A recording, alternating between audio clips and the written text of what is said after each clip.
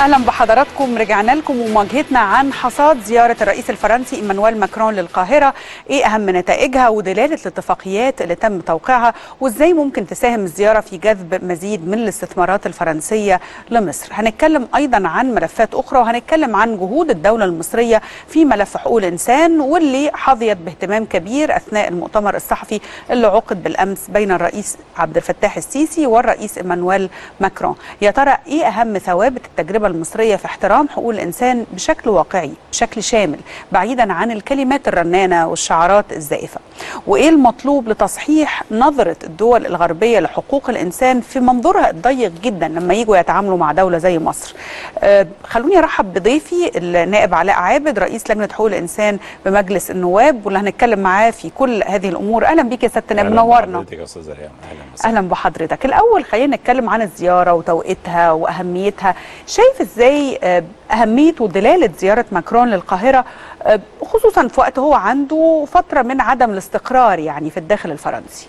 صحيح طبعا لازم نؤكد على إن الزياره لما تكون من رئيس دولة كبرى زي دولة فرنسا لمنطقة الشرق الأوسط وتكون هذه الزيارة لمصر. ده تأكيد على إن مصر اولا وأخيرا هي دولة الأمن والأمان.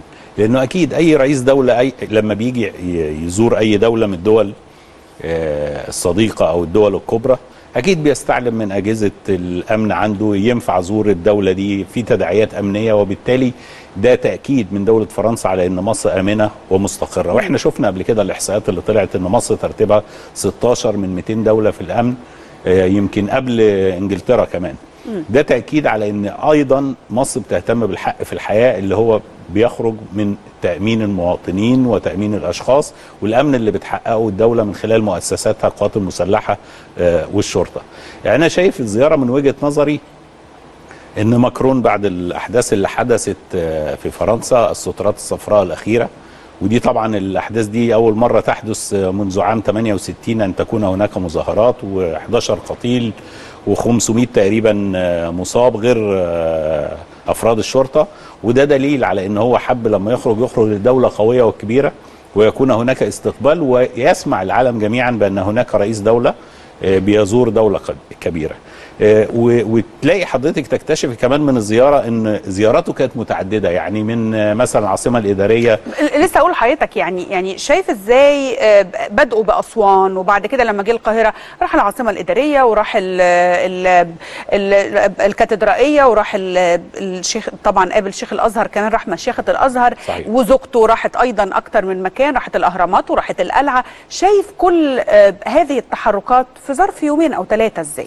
هي ثلاث أيام تحديدا ثلاث أيام أنا بقول طبعا أسوان آه. كان يوم ويومين صحيح. في القاهرة صحيح يعني هي هي يعني إذا قلنا على هذه الزيارة أنا بعتبرها زيارة ناجحة من الطرفين الطرف الفرنسي والطرف المصري لأن هذه الزيارة طبعا سوقت عالميا أن رئيس دولة فرنسا بيزور أهم دولة في الشرق الأوسط موجودة حاليا أو الدولة الوحيدة المستقرة في الشرق الأوسط. خلينا نذهب إلى الحقيقة. يعني ما يقدرش يزور ليبيا سوريا. طبعا إحنا بنتمنى لهم طبعا إن تعود الأوضاع الأمنية كما كانت من قبل. ليبيا سوريا العراق اليمن. ما يقدرش ما يقدرش يروح غير دولة آه. مستقرة آمنة. الدولة الوحيدة الآمنة في المنطقة؟ هي الدولة المصرية. وده بعد إيه؟ بعد خمس سنين أو ست سنين وهو على فكرة ماكرون لما نجح في الانتخابات قبل كده حصل على 65% في الانتخابات ودي كانت أول مرة إن حد يحصل على هذه النتيجة. بعد ال 65% طبعا الشعبية انخفضت نظرا للإصلاحات الاجتماعية اللي بتتعرض ليها فرنسا وبعض التداعيات اللي حصلت ليها. فهو بيتحرك تحركات دلوقتي اللي يثبت للعالم جميعا إيه إنه موجود رئيس دولة. إحنا استفدنا من الزيارة دي إن هي اتسوقت عالميا والجميع شاهد أن مصر إيه هي تستقبل رئيس فرنسا الرئيس المنتخب الرئيس الشاب. اللي نجح أو نجح بنتيجة 65% أمام لوبان وهي كانت منافسة شرسة أمامه وفي نفس الوقت هذه الزياره تؤسس لوجود مذكرات تفاهم تتعدى 30 مذكرة تفاهم بين الجانب المصري والجانب الفرنسي في اتفاقيات تجارية واقتصادية وخلافه. مفيش دولة في العالم من الدول العظمى وفرنسا من الدول العظمى هتعمل اتفاقيات مع دولة إلا إذا كانت شايفة أو متأكدة إن هذه الدولة آه، نجحت اقتصاديا تستطيع هذه الدولة أن تو- توفي التزاماتها أمام صندوق النقد الدولي أمام الدول الأخرى وبالتالي أنا بعتبر أن هذه الزيارة زيارة ناجحة آه، برغم آه، طبعا الهجوم من بعض الأشخاص اللي طبعا قراءتك إيه للرقم يعني لما نتكلم وهنروح طبعا للهجوم لكن لما آه. لما بما إنه سيادتك بتذكر الاتفاقيات اللي تم توقيعها أعتقد إن هم إيه 30 اتفاقية ومذكره تفاهم. تفاهم. يعني صحيح. آه، قراءتك إيه لهذا الرقم آه، رقم كبير جدا وبالنسبة ليه هو عايز يقول للشعب الفرنسي أنا بتعاقد وبعمل اتفاقيات آه، وتبادل آه، ومذكرات تفاهم مع دولة كبيرة مستقرة في مصر. وعلى فكرة آه، الرئيس ماكرون هو مش حر نفسه هو في عنده برلمان بيحاسبه في عنده جمعية عمومية بتحاسبه وعنده مجلس وزراء بيحاسبه عن كل التصرفات. ولو مش متأكدين أن هذه الاتفاقيات وهذه المذكرات مع دولة تستطيع الوفاء بجميع التزاماتها ما كانت تمت هذه الاتفاقيات خاصة زي ما إحنا قلنا إن هو جاي وعنده بعض الأحداث وبعض التداعيات. أنا شايف كمان إن الزيارة تفعيل هذه الزيارة والرد الحقيقي على هذه الزيارة هي للسياحة في مصر لأن هو جه إحنا يعني يعني زيارته تتوافق مع موسم السياحة في مصر. لأن إحنا موسم- الشتاء معروف عندنا الأقصر أسوان شرم الشيخ الغردقة وبالتالي هيشجع الكثير من الفرنسويين. إحنا نستفيد من ده إزاي؟ يعني يعني الزيارة متعددة الجولات دي في في في ظرف ثلاثة أيام إزاي ممكن نستفيد منها فعلا؟ نعزز فرصنا السياحية يا سياده النائب. صحيح. أنت عارفة سيادتك أكتر حاجة كانت سع... يعني أنا كنت مبسوط بيها جدا وسعيد بيها وجود السيد الوزير الدكتور خالد عناني كان معاه. أكتر من رائع رائع و... ودي فعلا. حقيقة نؤكدها ومعاه من اللحظة الأولى الأخيرة. مشرف ورائع وفاهم صحيح. ودارس و... صحيح ومتواجد معاه. أكيد هو يعني يعني اللي أنا عايز أقوله لحضرتك هو بيعرف يستثمر هذا الحدث. أكيد هيستثمر هذا الحدث للتسويق في مصر المعارض الخ- الخارجية مش في فرنسا بس إحنا بنقول فرنسا قبلة العالم في السياحة وتقريبا تصنيفها الدولة الثانية أو الثالثه في السياحة هي وأسبانيا و و و و و وإيطاليا. ولكن وجود رئيس فرنسا ووجود وزير آه، الآثار معاه آه، في بعض المزارات الأثرية الموجودة في مصر اللي, اللي كتير من الشعوب تتمنى إن هي تزورها. دي رسالة طمأنة للناس. لا تعالوا رئيس فرنسا موجود أهو بيأدي آه، كل الزيارة بشكل جيد. الحراسة عادية يعني مش حراسة مبالغ فيها. مش هنقول إن وقفنا الحياة في الشارع لا الشوارع كانت عادية. يمكن حدش حس بالزيارة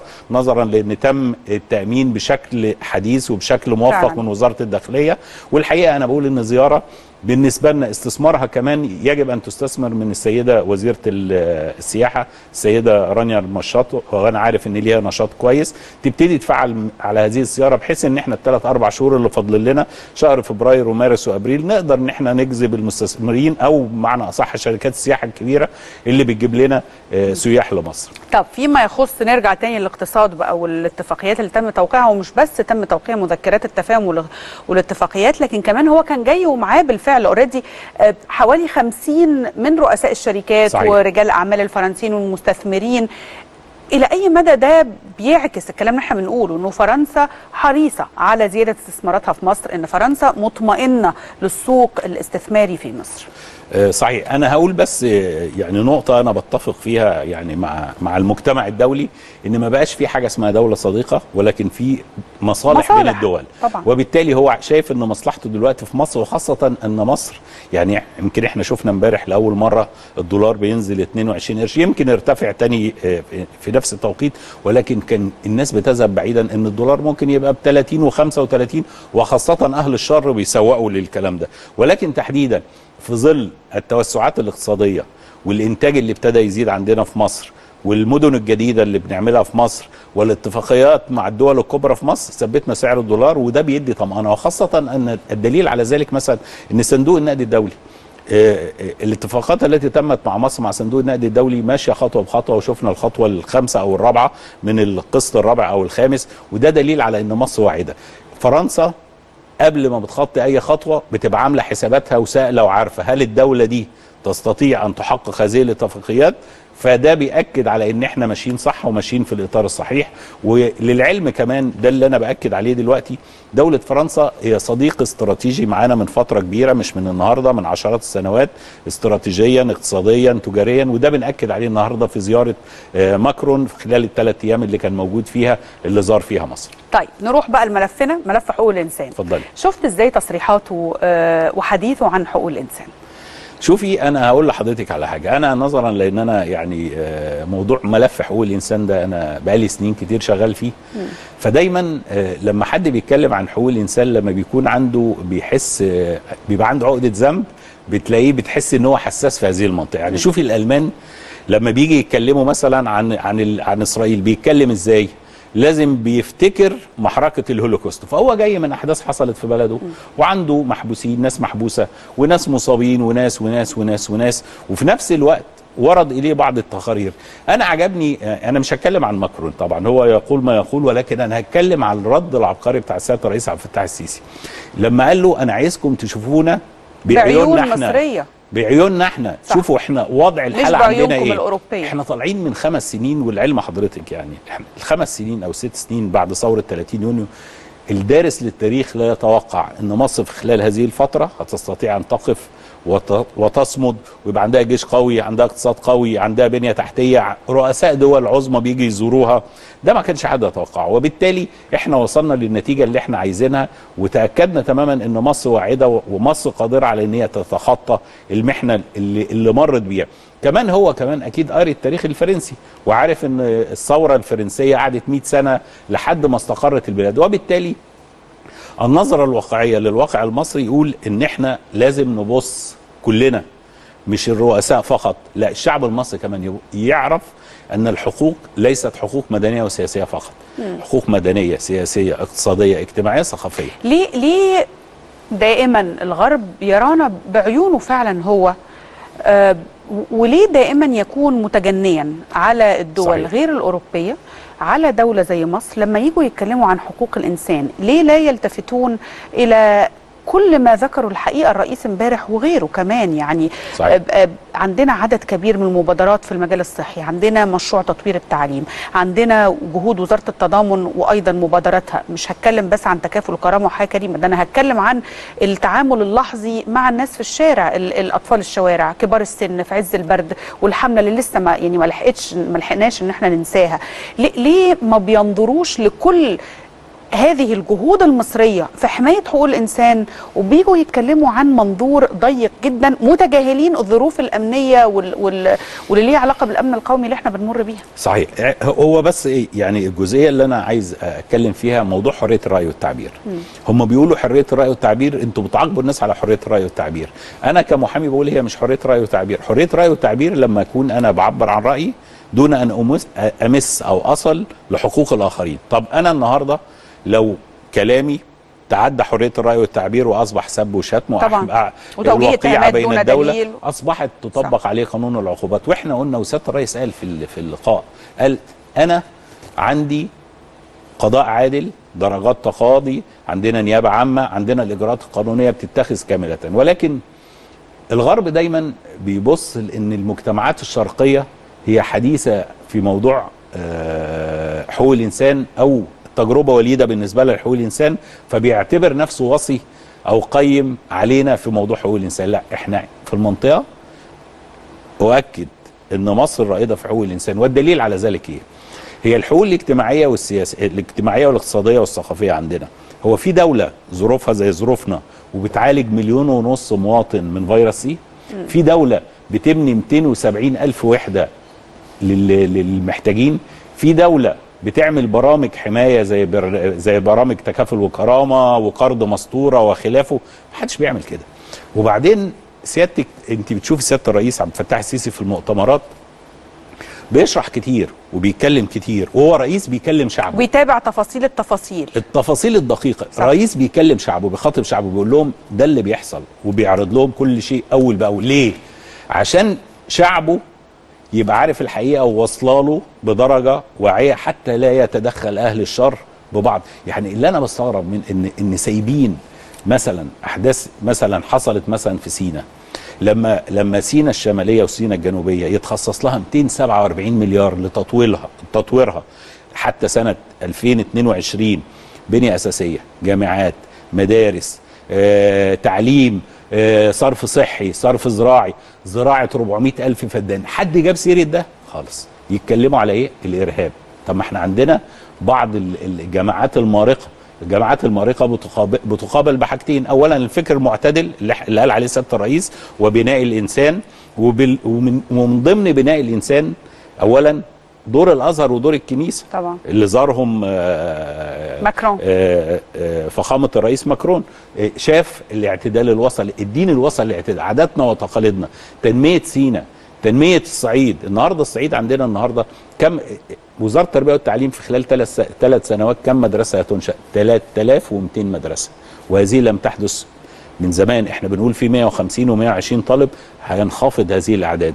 المعلمين كمان اللي إحنا بنتكلم عليهم في مجلس النواب وبنقول إن المعلمين يجب أن يكون لهم مرتبات ويعاملوا معاملة مختلفة لأن المعلم هو اللي هيصلح المجتمع هو اللي بيربي وهو اللي بيكبر وهو اللي وهو اللي لولا ما كنا قاعدين بنتكلم دلوقتي ولولا ما كان هناك شعب متحضر قدر يخرج في ثورة 30 يونيو.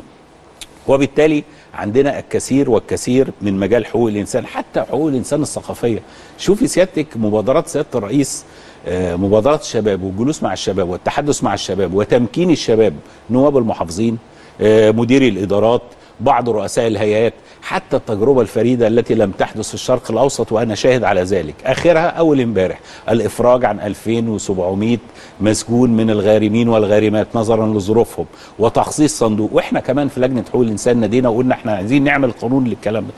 مصر بتتطور هناك شغل كبير جدا اجتماعيا ثقافيا اقتصاديا وسياسيا أيضا. حتى التجربة الوليدة وجود عدد من الأحزاب موجود على الساحة دلوقتي بتشارك المجتمع وبتحاول إيصال ما بين المواطنين الموجودين في المجتمع اللي هم غرر بيهم في فترة من الفترات وكان سبب التغرير بيهم فترة من الفترات إن هم ما لاقوش حد يفهمهم أو ما لاقوش حد يوضح لهم الأمور ما خدوش حظهم من التعليم الكفاية.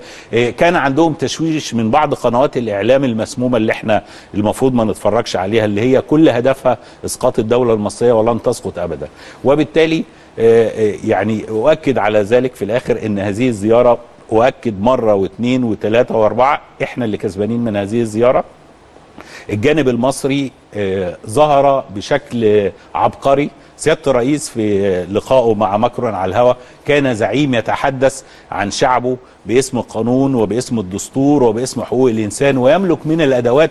يعني يعني حضرتك لما تشوف سيادة الرئيس وهو بيرد على الأجوبة آه، رش من ورقة. حافظ كل كلمة بتتقال وعارف ليه؟ لأنه كل يوم الصبح بيبقى في مكان فعارف هو بيشتغل إزاي وبيعمل إزاي وإيه النتائج اللي بيقدر يحققها وإيه المجهود اللي هو بيقوم بيه. وبالتالي لا أنا مش خايف على مصر. مهما كان هناك انتقادات في مجال حقوق الإنسان المدنية والسياسية المحكمة وأنا بقول أنا بقول كمحامي بقى بعيدا عن لجنة حقوق الإنسان قضاء مصر الشامخ مستقل وقضاة مصر العظماء بيتأكدوا. وإذا كان هناك متهم وهم القاعدة بتاعتهم عامة اللي بيقولوها. التوسع في البراءة والتقيد في الإدانة وده اللي إحنا متعودين طيب عليه. إلى أي مدى؟ وحضرتك محامي وحضرتك يعني آه ليك عمل طويل وخبرة طويلة في مجال حقوق الإنسان في مصر إلى أي مدى شايف الدنيا اتغيرت؟ لما بنيجي نتكلم عن ملف حقوق الإنسان إلى أي مدى حصل طفرة؟ إلى أي مدى حصل توسع في منظور ومفهوم حقوق الإنسان في مصر؟ الدنيا اختلفت إزاي يا سياده النائب آه، شوفي هقول لحضرتك خلينا بس نبقى يعني نبقى واقعيين. كويس. وندي مقارنات بأرقام. آه، اولا خلال السنة اللي فاتت أو السنة ونص اللي فاتت تعال نتكلم النهارده عن المسجونين. اولا سيادة الرئيس لما تبنى آه، قضية آه، الإفراج عن الشباب آه، الذين أخطأوا وأعطاهم فرصة تانية. النهارده اللي خرجوا من السجون في عفو رئاسي لم تحدث من قبل يعني في عصر الرئيس أنور السادات لما عمل عفو كان إيه؟ 1000 2000 أكتر من 15000 خرجوا بالعفو سواء غارمات أو سواء عفو لسبب خطأ اخطاوا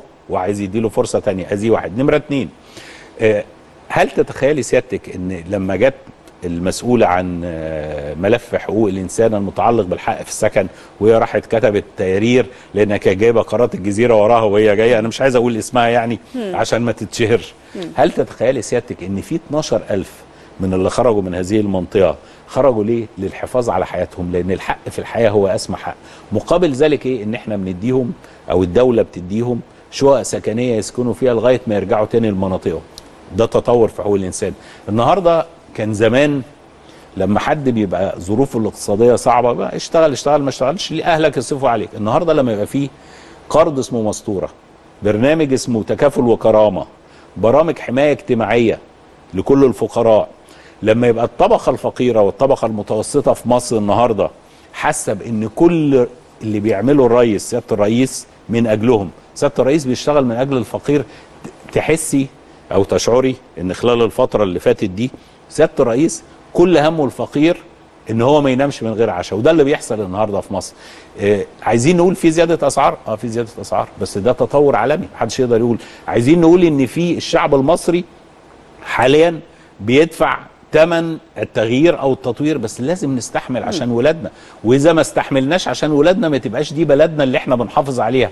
ولازم أفكر الشعب المصري إنه في عز الأزمات إحنا مش في ازمه حاليا. عز الأزمات اللي كانت أكبر ارجعوا بالذاكرة ل 67 شوفوا اقروا الكتب عن 67 و73 عن صمود الشعب المصري. اقروا الكتب لما كنا بنبني بنعمل السد العالي. لما كان الشعب المصري ابتدى إن هو يدخل في الصناعة الجديدة ويتحول من الزراعة للصناعة قدم تضحيات كتير وكله بيقدم تضحيات ولكن هذه التضحيات المرة دي ليها نتيجة لأن إحنا شايفين إحنا ما بنسمع إحنا ما بيتقالناش إحصائيات أو مثلا سيادة الرئيس بيطلع يقول أنا رايح النهارده أفتتح مشروع كذا لأ سيادة الرئيس بيقول أنا رايح النهارده أفتتح مشروع تم. وبالتالي ده الإنتاج اللي بي اللي إحنا بنحصل عليه. وبنشوف الإنتاج بي بي بي وبيحصل زيادة في ال في, ال في الإنتاج وبالتالي بنغطي. ما تنسيش سيادتك إن إحنا كان استثماراتنا من أربع سنين 2 مليار أو 3 مليار. النهارده استثمارات المباشره لمصر 8.5 مليار منهم 4.5 مليار لقطاع البترول. ده انعكس عن إيه بقى؟ إن إحنا اولا اكتفينا بالغاز ذاتيا وهنبتدي نصدر نمرة اتنين بقينا من الدول الهامة في البترول. نمرة ثلاثة بقى عندنا دلوقتي الكهرباء اللي كانت بتقطع نظرا للاتفاقيات مع ألمانيا والشركات الكبيرة زي سيمنز والشركات الفرنسوية بقى أصبح عندنا النهارده. لا عندنا تغيير م. المجتمع شايفه وحاسس بيه. ولكن إحنا بعد الثورة نظرا لأن كان في بعض القنوات اللي هي متخيلة إن السرقات اللي تمت في مصر قبل كده وما يدعونه من السرقات اللي في مصر فرفعوا سقف عند المواطن فأصبح المواطن الثورة هتقوم الرئيس هيبقى رئيس جمهورية بكرة الصبح كل واحد هيركب عربية شقة وظيفة مش هينفع. كمان ثقافة العمل الحر ده اللي أنا بنادي بيه وبقول عليه. ثقافة العمل الحر وليس الحكومي. حتة الوظيفة الميرز القديمة دي بقى خلاص يعني إحنا نطلع منها شوية ونتعلم من ضيوفنا الكرام اللي عايشين معانا هنا الإخوة السوريين اللي موجودين معانا هنا كلهم بيشتغلوا. خليتنا وإحنا الدولة الوحيدة وده قاله سيادة الرئيس اللي عندنا مفيش مخيمات للاجئين ولكن في بيوت للاجئين. دي الدولة الوحيدة. ما تحصلش في أي حتة تانية. مخيمات وكامبات زي كامبات ومعسكرات وبتحطوا فيهم ويبقى عليهم لا إحنا عايشين معانا. ياكلوا يشربوا يتجوزوا يروحوا مدارس ياخدوا الدعم اللي إحنا بناخده.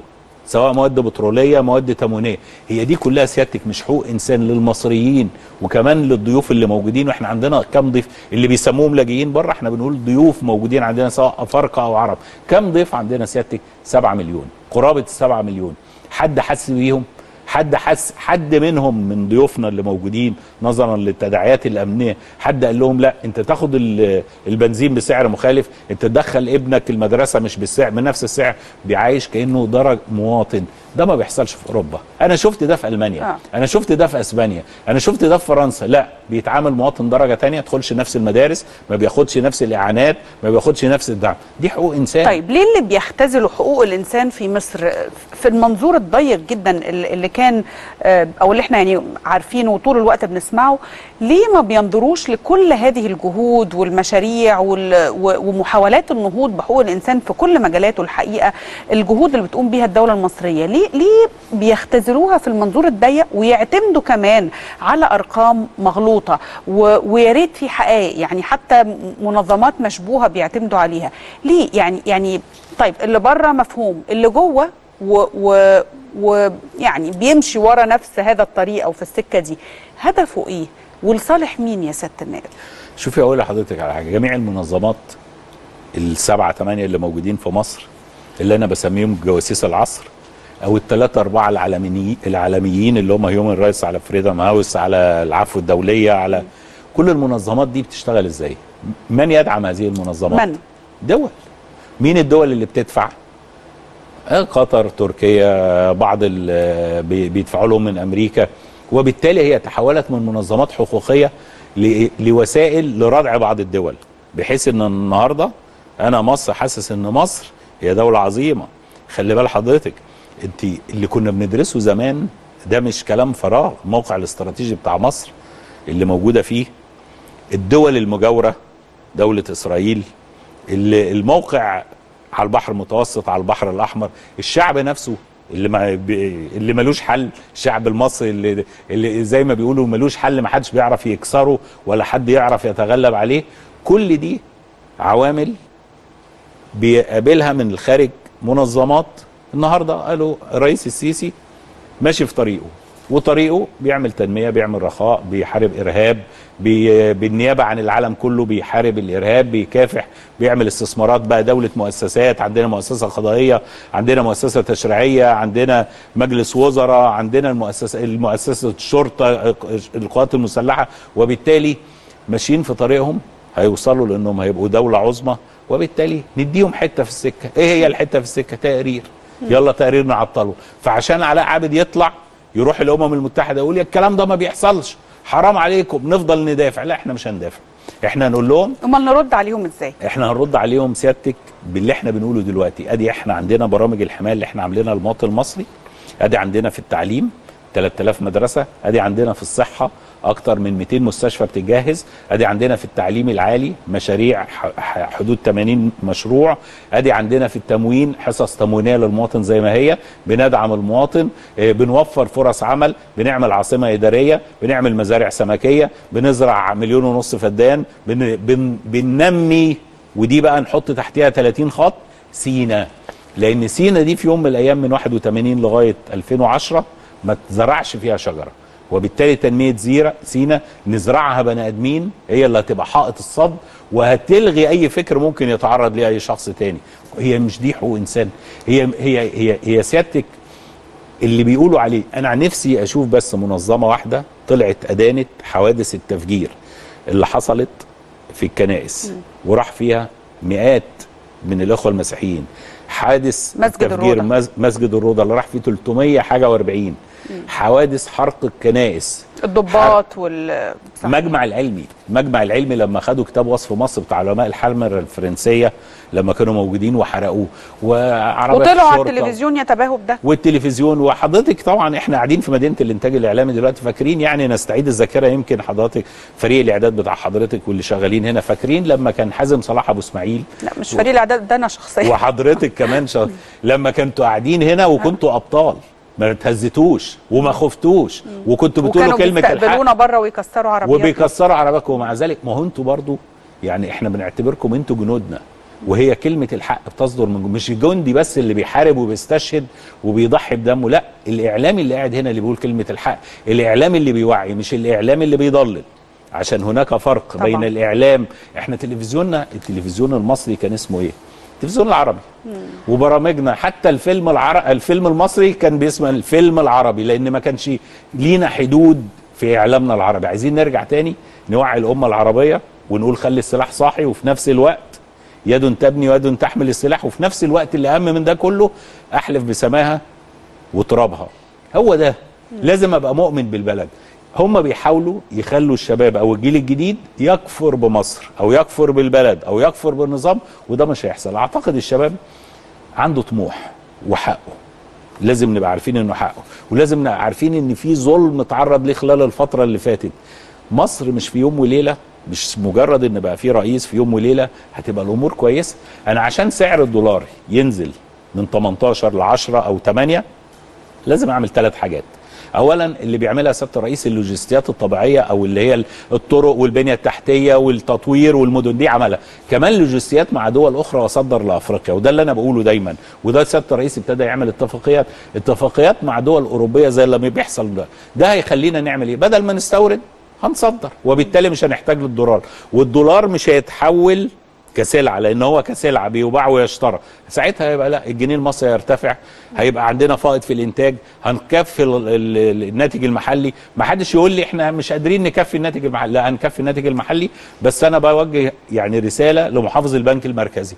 بقول له المستثمر المصري تعبان. ليه بقى تعبان ليه؟ لأن المستثمر المصري لما بيروح لبنك زي بنك مصر بنك الأهلي البنوك دي أنا مش عايز أعمل إعلانات. البنوك الوطنية. يقول له أنا عايز قرض عشان اشتغل. فال- فالبنك بيعمل إيه بقى؟ هي دي بقى المشكلة. بيخاف من الريسك وبالتالي مش بيديله القرض وبالتالي حتى لو بيديله القرض أيام ما كان الدولار بتسعة دلوقتي ب 18 يعني القيمه أصبحت النص. وبالتالي الإنتاج انخفض من 100% ل 50% لا ادي البنوك آه، آه، شهادات إن هي تدي قروض للمستثمرين المصريين وتابعهم وتابع مشاريعهم واعمل مندوب من عندك يتابع مشاريع هينتج. ودون الصناعات المتوسطة والصغيرة زي ما كنا بنوزع قبل كده في أفريقيا. إحنا عندنا أهم منفذ كان موجود لمصر كان موجود في الشارع الشانزليزيه آه. بتاع شركة النصر للاستيراد والتصدير. عايزين نرجع تاني لده. تمام. وده اللي هيخلينا يبقى في وفرة في الإنتاج وبالتالي هيبقى في ممتاز. حقوق كاملة. الرئيس اتكلم عن أكتر من نقطة يعني هو حدد كمان خلال اللقاء. نرجع تاني لكلام الرئيس. اتكلم مثلا عن إن الدولة المصرية وفرت حياة كريمة لاكثر من 250 ألف أسرة كانت تعيش حياة غير أدمية على الإطلاق. الرقم ده دلالته إيه؟ وهيفرق إزاي؟ يعني يعني أيضا يضيف إزاي لحقوق الإنسان في مصر؟ إيه الطفرة اللي هيعملها لما وفر حياة كريمة ومسكن كريم لهذه الأسر؟ أنت عارف سيادتك ال- البديل للحياة الكريمة ل 250 ألف أسرة؟ إحنا بنقول 250 ألف أسرة مش شخص. وإحنا عندنا ما شاء الله الأسرة في مصر يعني أربعة خمسة مش يعني اتنين. فخمسة في 250 إحنا بنتكلم في مليون وربع مليون ونص. وبالتالي البديل كان بالنسبة لهم بيبقى إيه؟ العوز أو الحاجة. والعوز أو الحاجة ده كان بيخليه يلجأ لإيه؟ أحيانا كثيرة يلجأ للإرهاب. أو وبالتالي يكون فريسة سهلة. وبالتالي فريسة سهلة للاب أو فريسة سهلة لأن يكفر بهذه الدولة. وبالتالي والرئيس قال كده فعلا امبارح في كلامه. صحيح. آه، آه، آه، ده بيأكد على إيه؟ إن الرئيس والوزارة والحكومة ومؤسسة الرئاسة شعر بالمواطن المصري. كمان إحنا لو نفتكر علاج فيروس C لو نفتكر فيروس C أو مرضى وده مهم. لسه هقول لك الرئيس اتكلم فيها امبارح. يعني إحنا كنا بنعالج في السنة 10000 مواطن آه وإنه دلوقتي بقينا بالعكس بن بنعالج 10000 بس في الشهر في الشهر مش 120 ألف السنة. في السنة. بالظبط. عشان كشوف الانتظار. ليه؟ لأن كان عن إحنا كمان عندنا على فكره هي مش العلاج. لفيروس C فقط فيروس C على فكره اللي كان بيجي له فيروس C ربنا يشفيك كلنا ويشفي كل أهل مصر وشعب مصر اللي كان بيجي له فيروس C بيبقى عنده كان أمل. ما عندوش النهارده فيروس C بقى زي ال- الإنفلونزا يعني. آه. ربنا يشفي الشعب المصري جميعا. لا ده إحنا بنعالج كمان إيه؟ الضغط السكر الأمراض المزمنة وبالتالي لا. عمليات القلب عملية. وع- بنكلف كام بقى؟ مليارات. أنا عايز أقول آه، يعني أستعير كلمة من سيادة الرئيس. هو هو الشعب فاكر ال- الفلوس دي بتيجي منين؟ هو يعني يعني يعني الفلوس دي بتيجي منين؟ من جهد ومن شغل ومن اتفاقيات ومن جري ومن إنتاج. ومن مشروعات كبيرة. لولا ذلك والله لولا ذلك لافلست مصر. والله لولا ذلك لاصبح الدولار ب 150 و200 جنيه. غير كده كمان سيادتك غير برامج برامج تكافل وكرامة وقرض مسطوره ده بيكلف الدولة قد إيه؟ مليارات أيضا. خلاف ده التعليم إحنا بنعلم كم طالب؟ 22 ونص مليون طالب. يعني لما نحسبها كده هنلاقيها عدد مثلا خمس أو ست دول من الدول ال- اللي في الشرق الأوسط. لما دولة تعلم 22 مليون ونص طالب محتاجة دعم قد إيه؟ ومحتاجة إن في نفس الوقت إن هي تدعم المعلم اللي هم مليون و300 بقد إيه؟ لا المنظومة صعبة ولكن مفيش مستحيل. بس المطلوب أن يعي الشعب المصري إن المرحلة خطيرة وإن في أشياء يجب أن نتحملها جميعا. كلنا لازم نتحمل وكلنا لازم نتحمل أن يكون هناك تضحيات. تضحياتنا إيه؟ إن نقلل شوية في استخداماتنا اليومية. يعني حتى مثلا لو هنتكلم مثلا على مشاريع الري هناك مشاريع كبيرة جدا في. في المي. مش كانوا من شهرين ولا ثلاثة ولا سنة. كانوا عمالين يقولوا لنا مصر هتجف.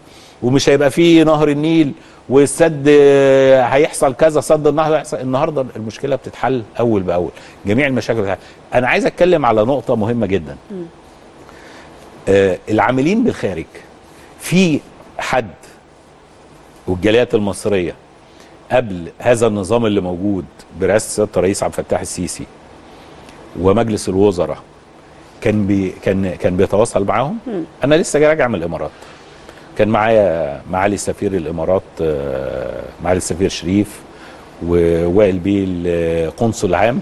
الحقيقة الجالية عارفينهم بالاسم وحافظينهم وبيتعاملوا معاهم. على فكرة مش على الإمارات ده الامارات السعودية الكويت حتى الحالات اللي بتحصل في الكويت. أنا في يوم من الأيام أنا جالي اتصال لازم تروح الكويت بكرة الصبح وكان معايا آه، الوزيرة الفاضلة نبيلة مكرم وزيرة الهجرة عشان ابننا المصاب هناك. ونتيجه الاهتمام وده حق من حقوق الإنسان لأنه حقه في الحياة. طبعا. ات- اتظبط المتهم وتقدم للمحاكمة وخد ست سنين.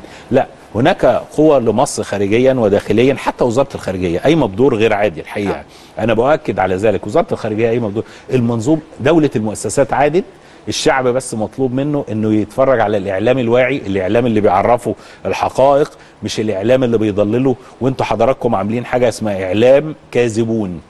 دي مهمة جدا لأن في بعض الإعلام الكاذبون اللي هم بيقولوا الخبر اللي مش صحيح عشان يوصل للشعب المصري عشان يقعد يتناقله وده مهم جدا من أجل التوعية من أجل الإعلام الواعي أكيد. أنا بشكرك شكرا جزيلا سياده النائب علاء عابد رئيس لجنة حقوق الانسان بمجلس النواب شرفتنا ونورتنا ودايما شكرا نكون. سعداء بحضرتك. شاكر جدا. شكرا ليك وخلونا نروح لفاصل وبعد الفاصل مواجهتنا الثانية عن إحدى مؤسسات تأهيل مصابي العمود الفقري. استنونا.